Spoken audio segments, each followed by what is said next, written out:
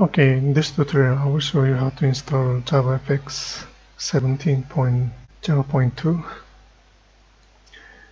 so let's go down to uh, JavaFX this is Gluon's website. Click download.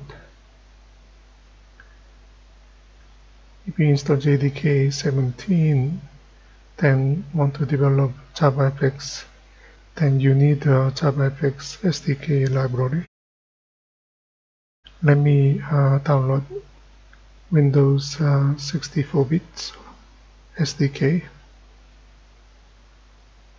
and also if you want to deploy uh, you may need uh, JMod of um, JavaFX 17.0.2 so let me download it both. Main idea is um, if you use JDK 17 or 17.0.2 you also need uh, JavaFX 17 in this case 17.0.2 with uh, JMod so that you can deploy your JavaFX applications. For my own convenience, I'm going to keep it on the program files Java. So JavaFX SDK.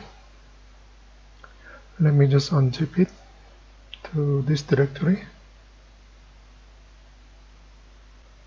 Okay close it. Next one is um, JavaFX SDK library. This is the uh, library you need when you do JavaFX development. So here JavaFX JMods unzip it. You need this JMods uh, if you want to deploy JavaFX application that is a standalone comes with a JDK library and JavaFX library. Using a J package you need a JavaFX uh, JMod close it. Okay these are modes you need that's all you need for JavaFX application development. That's all. Thank you.